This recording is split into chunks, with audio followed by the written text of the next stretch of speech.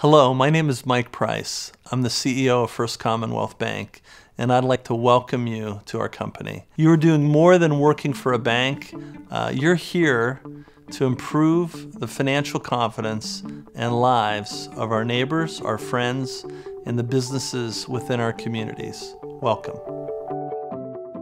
You know, I started in banking in 1987 88. Uh, I was a teller at the West 150th office. I learned the bank from the ground up and I just enjoyed the business. I think every employee at First Commonwealth can make a difference in improving the financial confidence and lives of our neighbors and businesses. It starts with us. There's nobody else that's going to do it. We can make a difference here.